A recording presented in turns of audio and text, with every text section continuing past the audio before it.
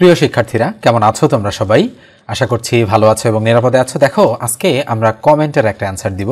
অর্থাৎ আমার একটা ভিডিওর কমেন্টে প্রশ্ন করেছে একজন, two A equal to three B, comma, two B equal to five C এবং three C equal to four D হলে এ অনুপাত বি অনুপাত সি অনুপাত ডি ইকুয়াল টু হোয়াট?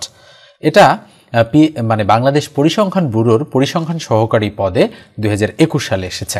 দেখো, এই যে অঙ্কটা, এই অঙ্কটা কিন্তু গতানুগতিক ধাঁচের থেকে কিছুটা বাইরে গিয়ে অঙ্কটা কিন্তু আমাদেরকে বুঝতে হবে। এই জন্য হয়তো উনি অঙ্কটা পারেন না। সেজন্য আমার কাছে হচ্ছে প্রশ্ন রেখেছেন এবং বলেছেন যে অ্যান্সারটা বুঝিয়ে দেওয়ার জন্য বা অঙ্কটা বুঝিয়ে দেওয়ার জন্য। তো শুরুতেই একটু খেয়াল করো যে আমরা এখানে কি করব। তাহলে two equal to three B two B equal to five C এবং three C equal to four D দেওয়া আছে। আচ্ছা একটু একটা বিষয়ে খেয়াল করো তো, যে এখানে এ এর সাথে কত আছে? টু আছে। অর্থাৎ এ হচ্ছে চলক আর টু হলো সহক।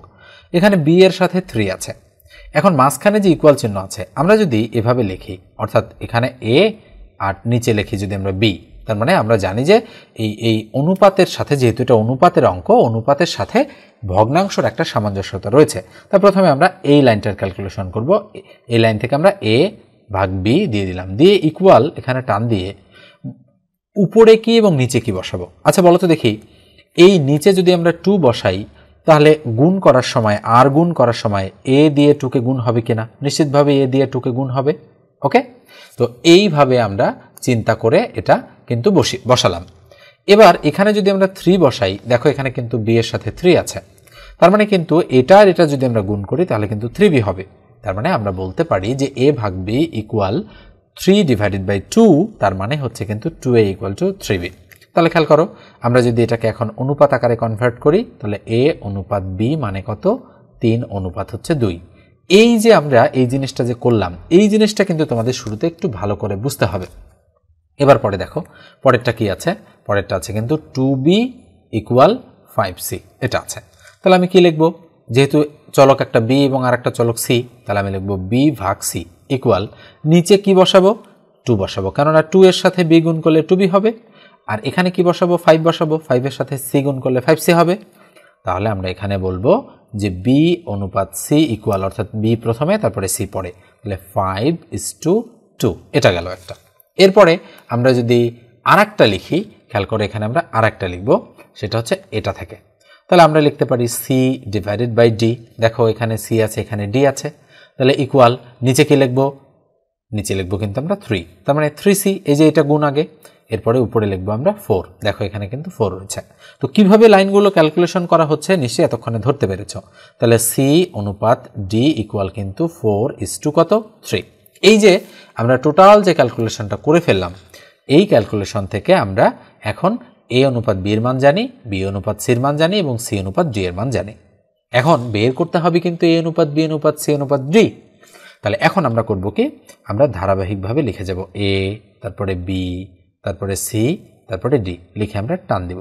টান দেওয়ার পরে বলতো প্রথমটা কত? এ অনুপাত বি মানে থ্রি ইস টু টু তার মানে থ্রি ইস টু টু এভাবে লিখব।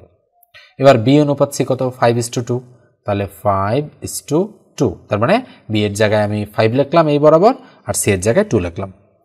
এবার সি অনুপাত দিক কত? ফোর ইস টু থ্রি তার মানে ফোর এখানে থ্রি এখানে। দেখো, আমি কিন্তু বরাবর লিখছি। লিখে আমরা এখানে একটা টান দিব। টান দেওয়ার পর যেটা করব, আমি একটু অন্য কালার ব্যবহার করছি, সেটা হলো, দেখো, এই যে গ্যাপগুলো রয়েছে যে এখানে একটা গ্যাপ এখানে একটা গ্যাপ এখানে একটা গ্যাপ আবার এখানে একটা গ্যাপ, এখানে একটা গ্যাপ, এখানে একটা গ্যাপ। তার মানে মোট ছয়টা গ্যাপ রয়েছে। এই গ্যাপগুলো কীভাবে পূরণ হবে? মনে রাখব, বাম এবং ডানের সংখ্যা দিয়ে গ্যাপগুলো পূরণ হয়। তাহলে উপর নিচের গ্যাপ মানে সংখ্যা দিয়ে পূরণ হবে না। তাহলে এখানে কি বসবে? বামে আছে দুই দুই। এখানে কি বসবে? এবার বামে আছে দুই দুই বসবে। এখানে কি বসবে? বামে আছে দুই দুই বসবে। এবার এখানে কি বসবে? ডানে আছে পাঁচ পাঁচ বসবে। এখানে কি বসবে? বলতে পারতেছেন এখনও। এখানে কি বসবে? ডানে ফোর আছে, ফোর বসল। এখানে কি বসবে? এবার এর ডানে ফোর আছে, ফোর বসল। নিশ্চয়ই বুঝতে পেরেছ? বামে এবং ডানের সংখ্যা দ্বারা আমরা গ্যাপগুলো পূরণ করব। এইবার আমরা ফাইনালি কি বের করব? যে এ কত? তিন পাঁচে পনেরো, চার পনেরো ষাট। এবার বি কত? বি হচ্ছে পাঁচ দুগুণা দশ, চার দশে চল্লিশ। সি কত? দুই দুগুণ চার চার চারে ষোলো। ডি কত? দুই দুগুণ চার, তিন চারে বারো। তাহলে আমরা বলতে পারি এ অনুপাত বি অনুপাত সি অনুপাত ডি মানে কত? Sixty to forty to sixteen is to twelve তাহলে একই সংখ্যা দ্বারা যদি আমরা কাটি, তাহলে আমরা এখানে দেখতে পাচ্ছি যে চার দ্বারা সবগুলোকে কাটা যায়। তাহলে চার দ্বারা যদি কাটি, চার পনেরো ষাট, চার দশে চল্লিশ, চার চারে ষোলো, তিন চারে বারো। তার মানে পনেরো অনুপাত দশ অনুপাত চার অনুপাত তিন। তাহলে অ্যান্সারটা কত? পনেরো দশ চার তিন। তাহলে খেয়াল করো, এখানে অনুপাত হবে, তার মানে পনেরো অনুপাত দশ অনুপাত চার অনুপাত তিন। তার মানে আমাদের খ নম্বর অ্যান্সারটা এক্ষেত্রে কিন্তু রাইট দেখো, অনেকটা কিন্তু ক্যালকুলেশন করতে হলো এই অঙ্কটা করার সময় আমাদেরকে। এখন, এই অঙ্কটা এই কারণেই মানে হচ্ছে গুরুত্বপূর্ণ, কেননা গতানুগতিক ধাঁচে আমরা কিন্তু কি করি? আমরা এইভাবে অঙ্ক আসে আমাদের। আমরা বলি যে দেওয়া আছে এ অনুপাত বি এর মান কত? আমরা বলতে পারি যে ধরো তিন অনুপাত দুই, এটা দেওয়া আছে। আবার দেওয়া থাকে কি? বি অনুপাত সি ইকুয়াল দেওয়া থাকে ধরো পাঁচ অনুপাত দুই, এরকম দেওয়া আছে। পরীক্ষার হলে বলে এ অনুপাত বি অনুপাত সি ইকুয়াল টু কত? এরকম প্রশ্ন আসে। তো যখন এরকম প্রশ্ন আসে, তখন আমরা কীভাবে করি? তখন আমরা খুব সহজেই অ্যান্সারটা বের করতে পারি। আমরা টান দিব। দিয়ে আমরা কি লিখব বলো তো দেখি? আমরা লিখব এই দ গুণন পদ্ধতি এখানে অ্যাপ্লাই করে পাই। কেন? এই যে এই কোনাটা মিল আছে, এই কোনাটা মিল থাকলে আমরা দ গুণন পদ্ধতি ব্যবহার করতে পারি যে এইভাবে দ কাজ করে। এখন প্রথমে এ আছে, এ লিখলাম, তারপর দুই বি আছে, বি লিখলাম, অনুপাত সি আছে, সি লিখলাম। ইকুয়াল কি হবে? এই তিন আর পাঁচ গুণ করলে পনেরো, অনুপাত পাঁচ আর দুই গুণ করলে দশ, অনুপাত দুই আর দুই গুণ করলে দুই দুগুণ চার। তাহলে কত আসলো বলো তো দেখি এবিসি পনেরো, অনুপাত দশ, অনুপাত চার। দেখো এই এইটা, এইটুকু থেকেও কিন্তু আমরা এই এই এই অঙ্কটা গেস করতে পারি। খেয়াল করো, বাকি তিন যদি আমরা নাও বের করি, তাও কিন্তু আমরা বুঝতে পারি যে এই খ নম্বরটা অ্যান্সার হবে। তার মানে আমরা কিন্তু অঙ্কগুলো যদি করতে জানি, তাহলে কিন্তু খুব দ্রুত আমরা সমাধান করে ফেলতে পারব এভাবে। ওকে, আবার যদি আমি এভাবে করি, যে ধরো অঙ্ক দেওয়া আছে আমাদের পরীক্ষায়, যে ধরো বি অনুপাত সি এর মান এভাবে দেওয়া আছে, যে বি অনুপাত সি ইকুয়াল টু দেওয়া আছে ধরো পাঁচ অনুপাত দুই, এটা আমাদের দেওয়া আছে। এবার অঙ্কে আরও দেওয়া আছে সি অনুপাত ডি সি অনুপাত ডি ইকুয়াল মনে করে দেওয়া আছে, চার অনুপাত তিন, এটা দেওয়া আছে। কি বের করতে বলছে বলো তো দেখি? আমাদের বের করতে বলছে বি অনুপাত সি অনুপাত ডি ইকুয়াল টু হোয়াট এটা মনে করো বের করতে বলেছে। কীভাবে করব? ঠিক একইভাবে এখানেও আমরা দ গুণন পদ্ধতি অ্যাপ্লাই করব, কেননা এই দুটো মিল রয়েছে। তাহলে দ যদি আমরা অ্যাপ্লাই করি, তাহলে এটা এটা গুণ, এটা এটা গুণ, আর এটা এটা গুণ। তাহলে প্রথমে হবে বি অনুপাত, তারপরে হবে সি অনুপাত, তারপরে হবে ডি ইকুয়াল চার পাঁচে কত? কুড়ি। অনুপাত চার দুগুণ কত? আট। অনুপাত তিন দুগুণ কত? ছয়।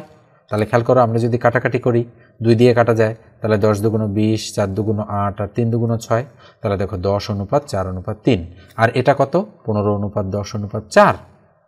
এখন খেয়াল করো যে এই যে মাঝের দুইটা, এই যে মাঝের দুইটা দুইটা কিন্তু সেম তার মানে আমরা সবার শেষের অনুপাতটা তিন পাচ্ছি। তার মানে অনুপাতটা হচ্ছে আমাদের পনেরো অনুপাত দশ অনুপাত চার অনুপাত তিন। ওকে তো আমরা চাইলে এইভাবেও কিন্তু অঙ্কটা সলিউশন করতে পারি।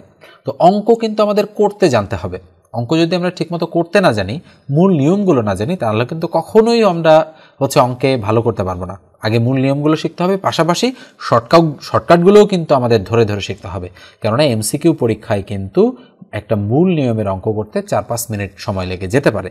কিন্তু যদি তুমি শর্টকাট জানো, তাহলে কয়েক সেকেন্ডের মধ্যেই মানে উইথিন ফোর্টি সেকেন্ডসের মধ্যেই তুমি কিন্তু অঙ্কগুলো করে ফেলতে পারবে। তো এই হচ্ছে আমাদের কমেন্টের অ্যান্সার আজকের। আমি তোমাদের সঙ্গে খোলামেলা আলোচনা করলাম। তোমরা কমেন্ট সেকশনে জানাবে কার কোন অঙ্ক প্রবলেম হচ্ছে। আমার সময় সুযোগ হলে আমি অবশ্যই অঙ্কগুলো করে দেওয়ার চেষ্টা করব। তো ধন্যবাদ সবাইকে। ভিডিওটা মনোযোগ সহকারে দেখার জন্য। দেখেন, একজনের প্রবলেম হলে আমরা অনেকেই কিন্তু সমস্যাটার সমাধান শিখে নিতে পারি। ঠিক আছে? তো আমি এ পর্যায়ে বলি, যারা এখন পর্যন্ত সাবস্ক্রাইব করনি এই চ্যানেলটা অবশ্যই সাবস্ক্রাইব করবে আর কমেন্ট করে জানাবে ভিডিওগুলো কেমন লাগছে। আর যারা ফেসবুক পেজ থেকে দেখছ পেজটা ফলো দিয়ে রাখো। আর ভিডিওতে একটা লাইক দিতে ভুলবে না।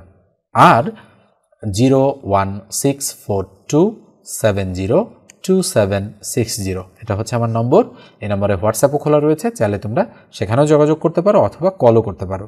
অনলাইনে যদি আমার কাছে পড়তে চাও। আমার ম্যাথের একটা বেসিক কোর্স রয়েছে। যে কোর্সটার নাম হচ্ছে বেসিক ম্যাথ কোর্স কোর্সটা সবসময়ের জন্যই রানিং থাকে এবং দু তিনটে ব্যাচ তো আমার চলছেই এই মুহূর্তে। তোমরা যারা করতে চাও, তারা অবশ্যই আমার সঙ্গে যোগাযোগ করতে পারো এই নম্বরে। প্রতি মাসে প্রাইভেটের আদলেই আমি তোমাদের কাছে পাঁচশো দশ টাকা পেমেন্ট নেই, নিয়ে একদিন পর পর আমি জুম অ্যাপ এবং ফেসবুক প্রাইভেট গ্রুপের মাধ্যমে তোমাদেরকে পড়িয়ে থাকি। তো ঠিক আছে, আজকে এ পর্যন্তই। ভালো থেকো, সুস্থ থেকো।